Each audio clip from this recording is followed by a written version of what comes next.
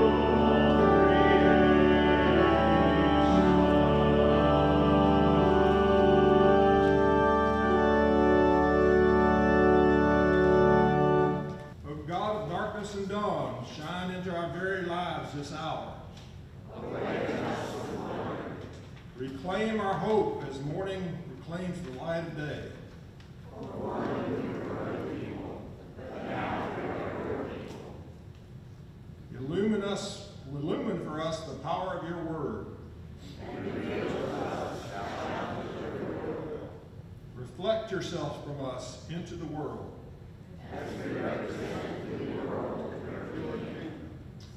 Accept our offer of worship as we gather today. Our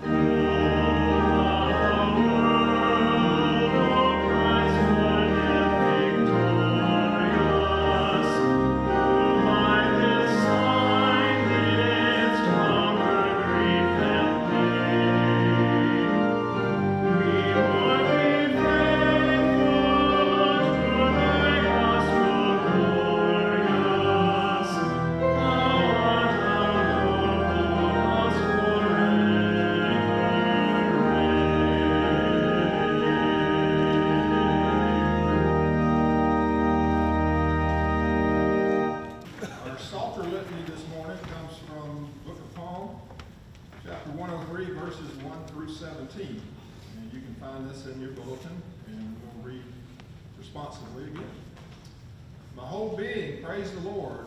All my being, praise his holy name. praise the lord He forgives all my sins and heals all my diseases.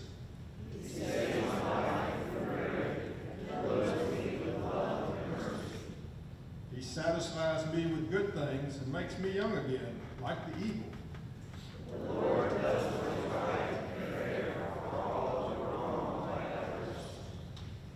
He has not punished us as our sins should be punished. He has not repaid us for the evil we have done.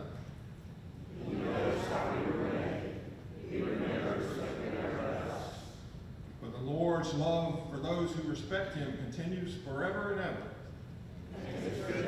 Thank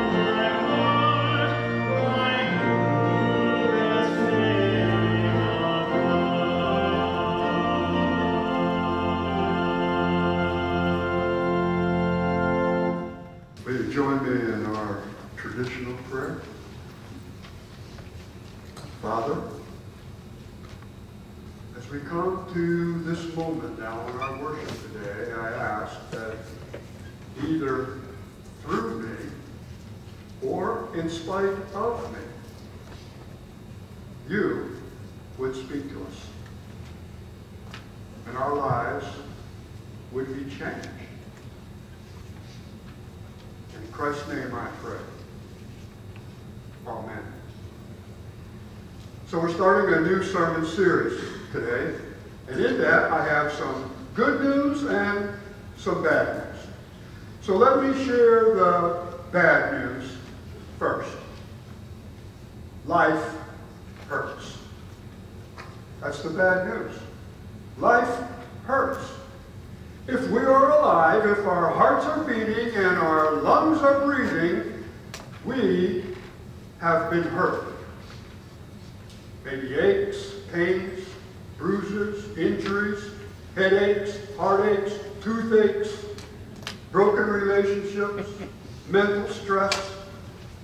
At some point, we've been used, maybe even abused. Every one of us are scarred. That's the truth.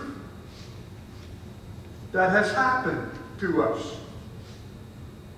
Physically, emotionally, and spiritually. Or body, soul, and spirit. No questions. No exceptions. No escaping.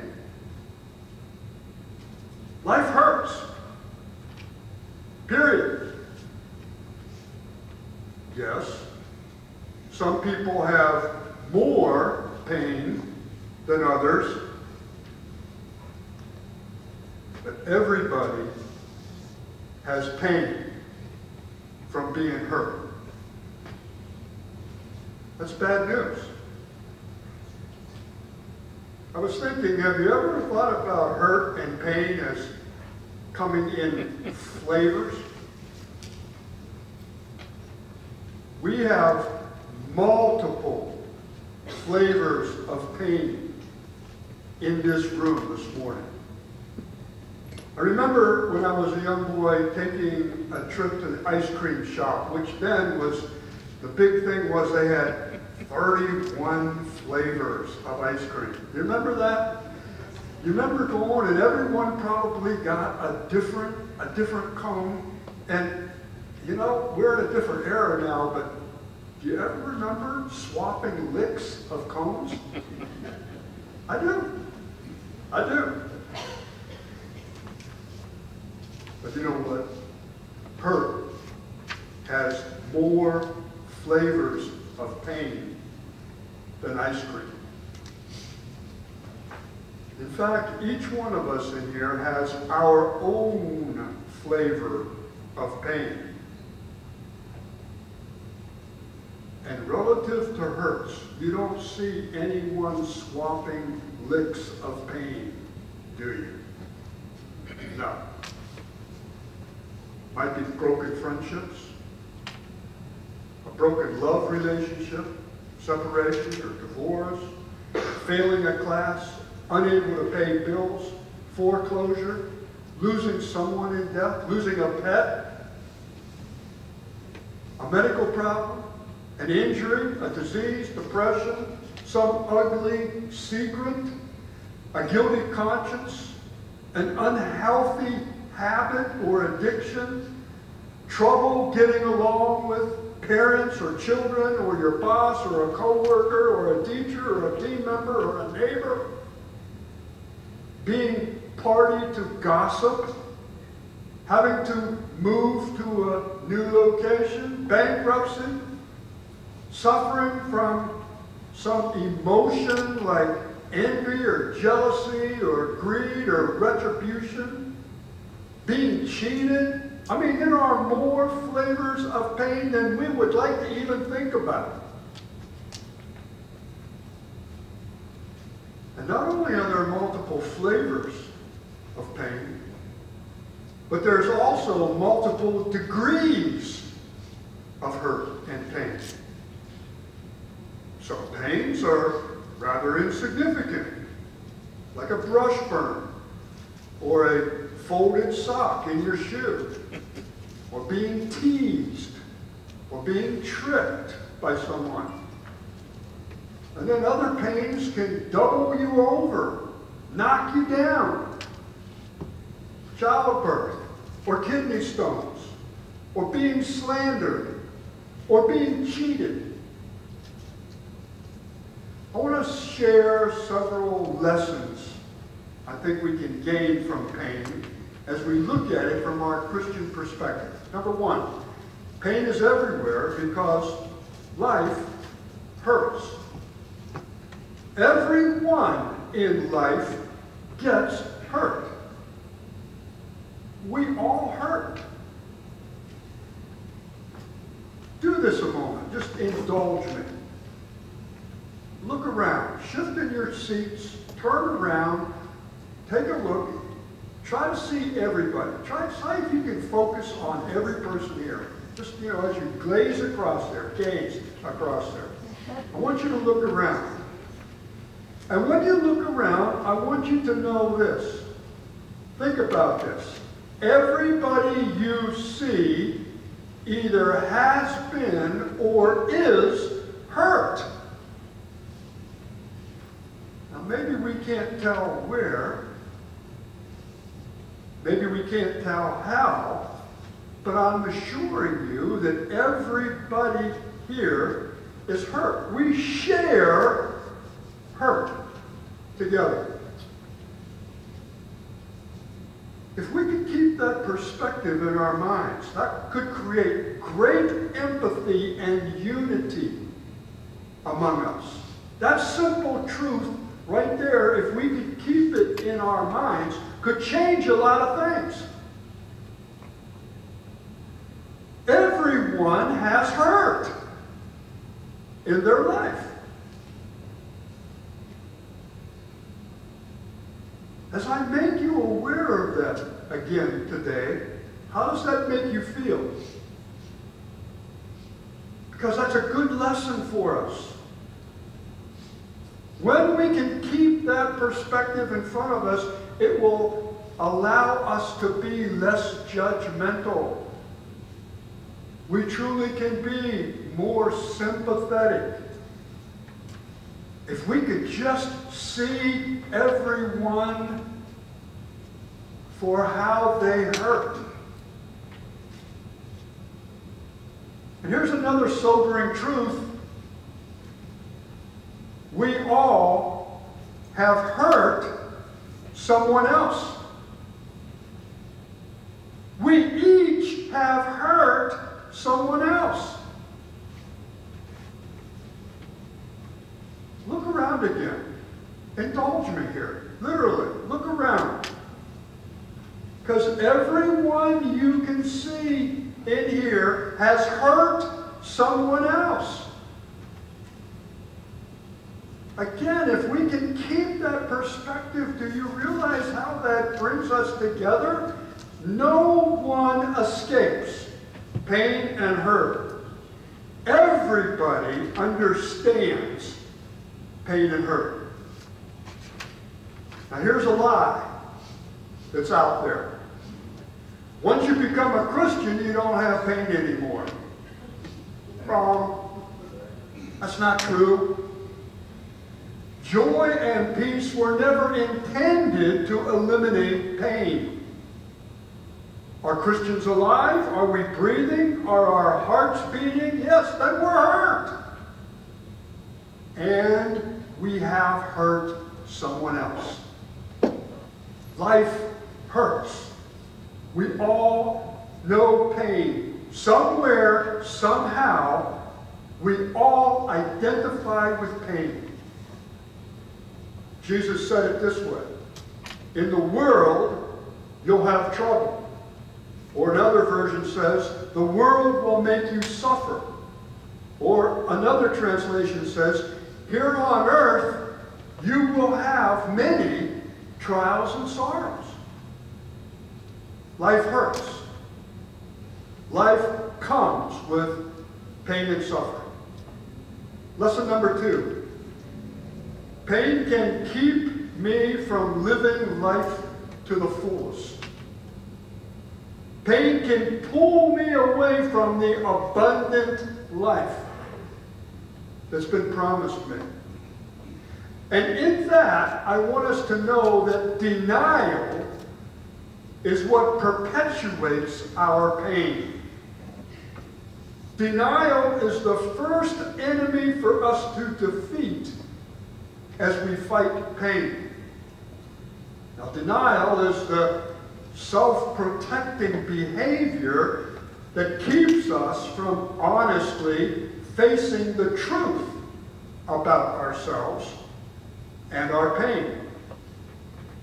And as I'm saying this, I want you to recognize how this sermon ties into the sermon from last week and how this sermon ties into our Thursday email.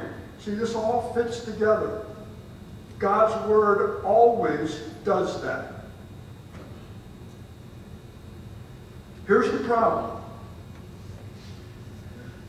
We try to get out of or to avoid having to deal with our pain because we don't like it. It's messy. We deny the pain, or we ignore it, or we try to minimize it, or we try to hide it, or we try to put it off. Anything except dealing with it. I want you to think about masks for a moment. Why does anyone wear a mask?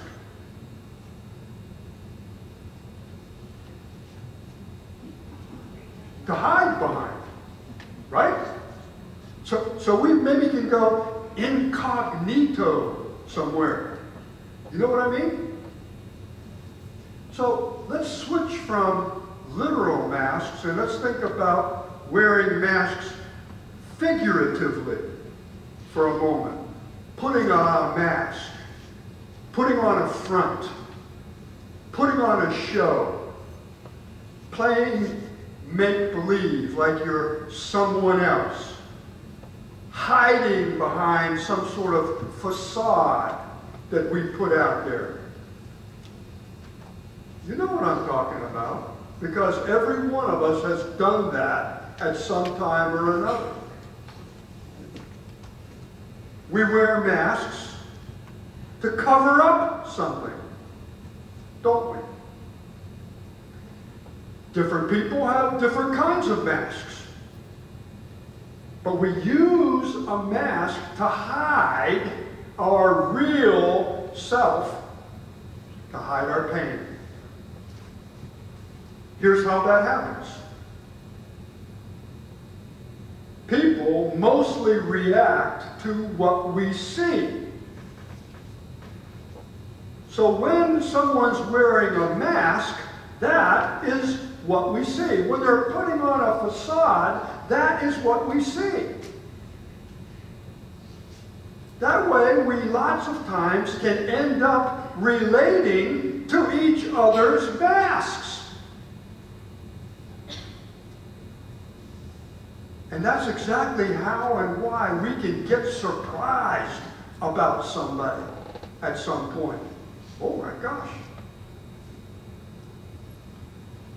It's a huge issue in relationships.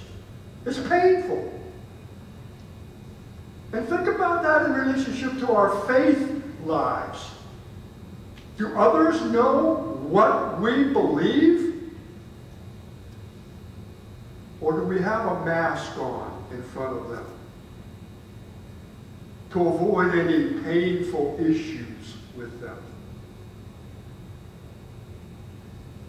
Listen, denial and masks, they're unhealthy. It's a form of lying and deceiving. God says through Paul, stop lying to each other. Tell the truth. For we all are parts of each other, and when we lie to each other, we are hurting ourselves. Ephesians chapter 4. Now, here are some of the effects of denial. It disregards our feelings. It exhausts us. It never lets us grow. It isolates us. It abandons relationships and it lengthens our pain. It's bad stuff. Facing and admitting the truth about myself is the starting point of overcoming my pain. And pain is not God's plan for us, church. Jesus said, I've come so that you could have life and have it to the full. So we must learn to deal with our pain to stop denying. Take off the mask. Here's my last lesson about pain. On my own, I can do little or nothing about my pain. That's the truth. If I had the power to stop my pain, I would not have allowed my pain to begin with. I would have already stopped it. And I would definitely stop it now because pain hurts. I don't like that. Here's how Paul describes the situation we are in in our human lives well-known words from chapter 7 in Romans. In fact, I don't understand why I act the way I do. I don't do what I know is right, and I do the things I hate. Although I don't do what I know is right, I agree that the law is good. So I am not the one doing these evil things. The sin that lives in me is what does them. I know that my selfish desires won't let me do anything that is good. Even when I want to do right, I cannot. Instead of doing what I know is right, I do wrong. And so, if I don't do what I know is right, I am no longer the one doing these evil things. The sin that lives in me is what does them. In every part of me, I discover something fighting against my mind, and it makes me a prisoner of sin, and it controls everything I do. What a miserable person I am. So that's the bad news. Life hurts. Now, for the good news. The good news is God heals. And in relationship to last week, that would be wow. Seven days can just take it all away. Jeez. Nevertheless, God. Yeah. God's healing is available for every pain. I want you to say that out loud with me so you can hear yourself say it. God's healing is available for every pain. There is healing for every flavor of pain and every degree of pain. Jesus said, I've come so you can have life and have it to the full. I have told you this so that you might have peace in your hearts because of me. While you are in the world, you will suffer. But cheer up, because I have defeated the world. At some point, pain has to be dealt with. Otherwise, we will live daily in suffering. And that could actually cause us to die in pain. It's God's choice to overcome pain with healing. That's what God's forgiveness is all about. That's what God's love and grace is all about. That's what salvation is all about. And know that God planned salvation from the beginning. So we know pain is not God's plan for us. That's the good news of the Bible. Bad news, life hurts. Good news, God heals. Think of a little child suddenly cries out in pain, and mom and dad rush to the scene. One of the first questions they ask is, Where does it hurt? Show me where it hurts. So let me ask the question this morning. Where does it hurt? You know, when we have physical pains, we get tested. You know, the normal tests blood work, x rays, CAT scans, or maybe the big test today is the MRI, the magnetic resonance imaging. Know this. In God's Word, God recommends a daily MRI test in our lives. Try to get your insurance company to sign off on that.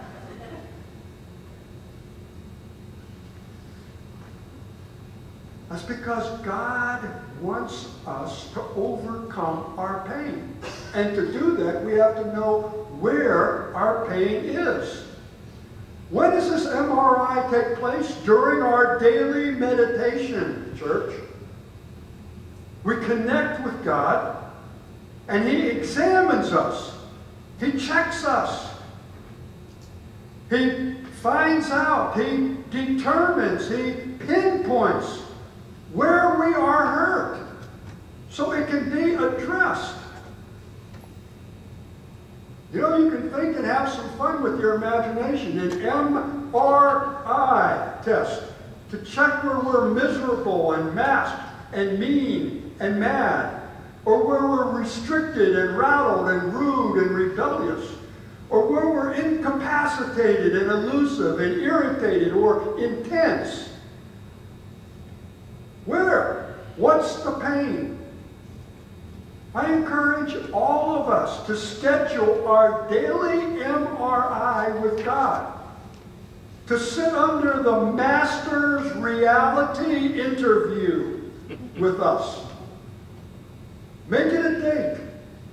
Sit with the Holy Spirit of God. See where your pains are. Allow, under prayerful examination, the truth of the Holy Spirit. Allow the exposure of God's penetrating light into your life. Realize that He can identify with you where your pains really are, where you hurt. And then you can face the reality about your state of being.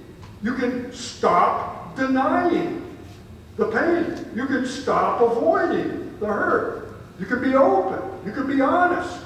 You can face the truth. Because the truth is the key to our well being in God's kingdom. Without the truth, there can be no abundant life, and we can have no good relationships.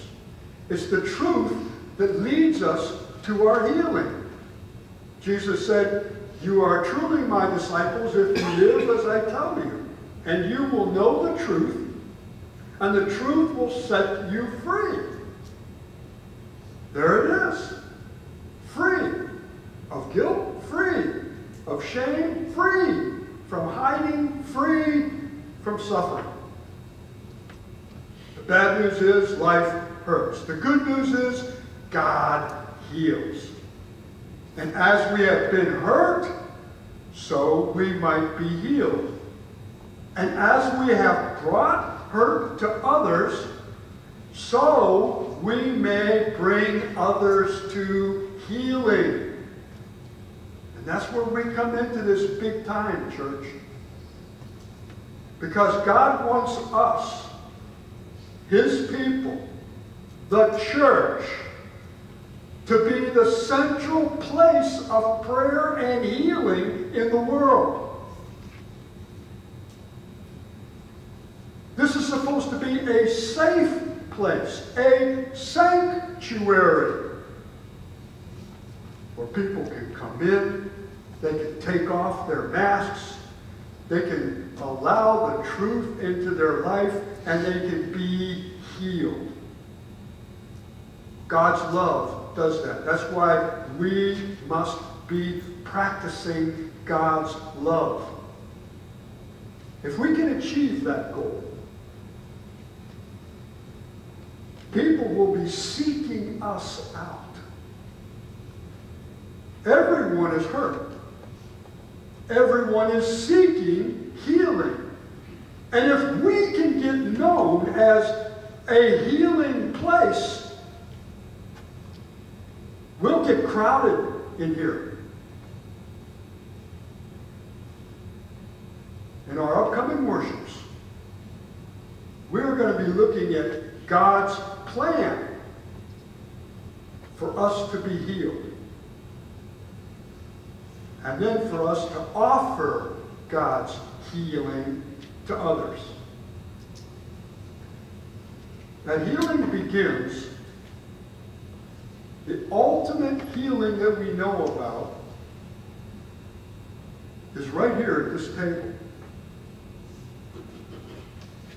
And so we're beginning this series on the Sunday when we can share in the ultimate healing God offers us. As we come to the sacrament, I remind us that this is Lord's table, it's not our table. So we don't really control who comes to this table. The Lord does.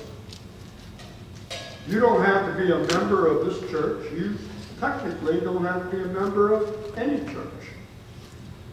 You simply have to be able to accept the invitation that God gives. And if you want to lead a new life, and from now on follow in His ways of love, you're invited to this table and to the healing that God offers here. Christ our Lord invites to this table all who love him, who earnestly repent of their sin and seek to live in peace with one another. Therefore, let us confess our sin before God and one another. Let's join together in this prayer of confession, and then each of us take a moment in our own personal prayers.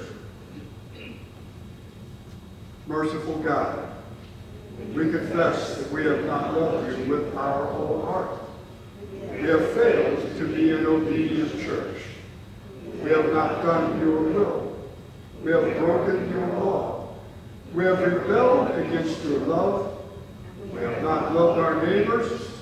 And we have heard, not heard the cry of the needy. Forgive us, we pray. Free us for joyful obedience through Jesus Christ our Lord.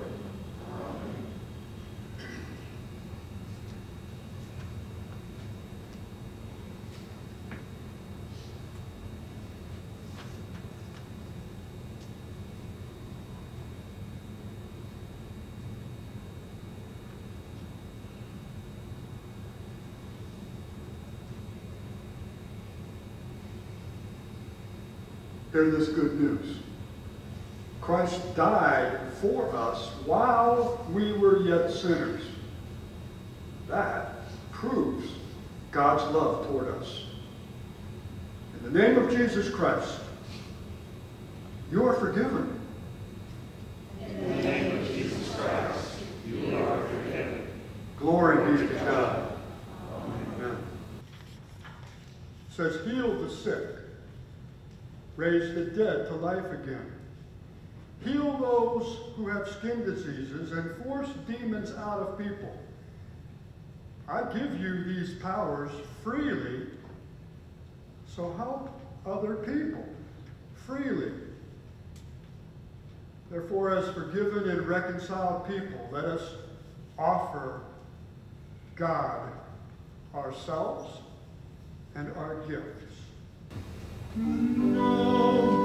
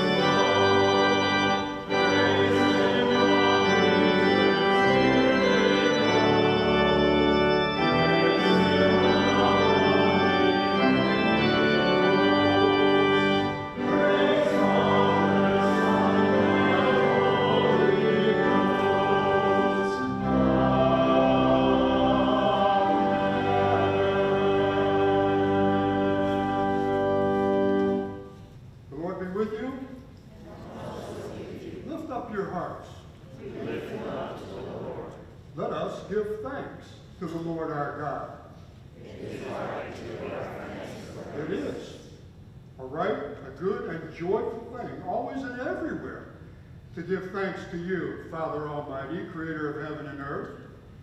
And so, with your people on earth and all the company of heaven, we praise your name and join their unending hymn. Holy, holy, holy Lord, God of power and might. Heaven and earth are full of your glory. Hosanna in the highest. Blessed is he who comes in the name of the Lord. Hosanna in the highest. Holy are you, and blessed is your Son, Jesus Christ. By the baptism of his suffering, death, and resurrection, you gave birth to your church, delivered us from slavery to sin and death, and made with us a new covenant by water and the Spirit. Then on the night in which he gave himself up for us, he took the bread. And he gave thanks to you, and he broke the bread, and he gave it to his disciples, and he said, Take and eat this. This is my body, which is given for you. Do this in remembrance of me. And when supper was over, he took the cup and gave it to his disciples and said, Drink from this, all of you. This is my blood of the new covenant poured out for you and for many for the forgiveness of sins. Do this as often as you drink it in remembrance of me.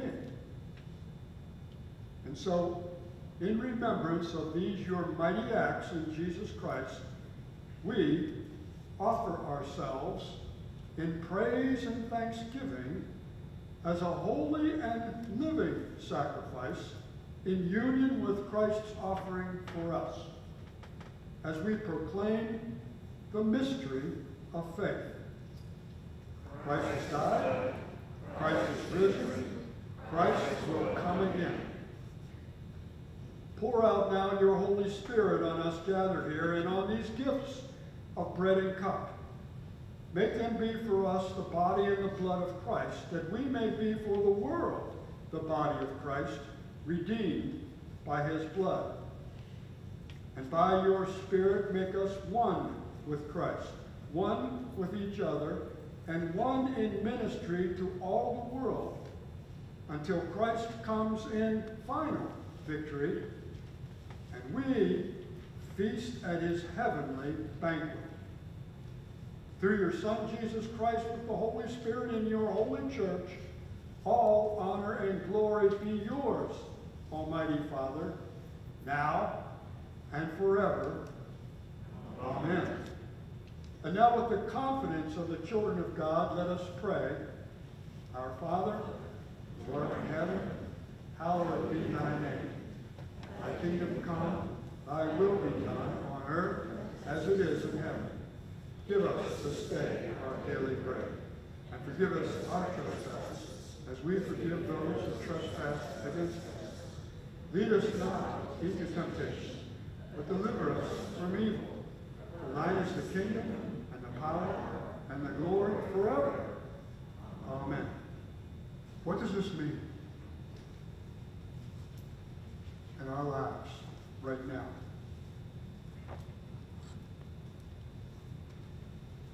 We're facing a lot of places where we need healing.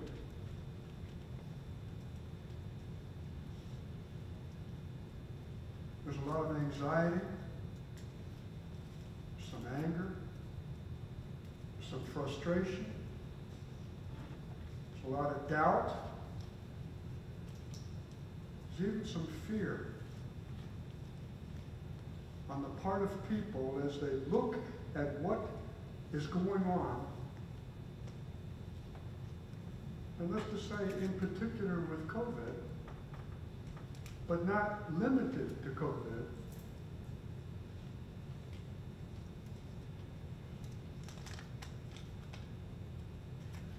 and they don't know what to do.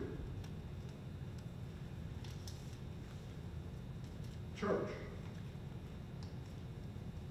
this is our moment. Life hurts. God heals. Nevertheless, God. And God's healing is greater than any hurt. There's an answer for COVID. There's an answer to it. Maybe we don't have it quite yet. Maybe we're still working on it. But all these people that worry that COVID's with us forever and, and we don't know what we're going to do, wrong. Church, wrong. And so we're the ones that need to be speaking that strength and that hope and that encouragement. Because if we don't, who will?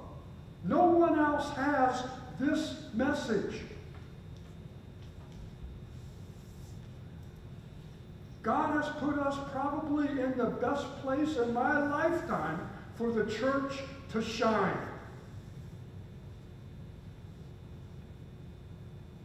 But if we're quiet, if we pull back, if we sit low, that'll never happen. and we will have missed our chance.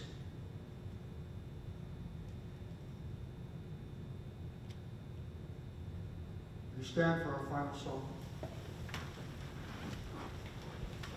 Thank you.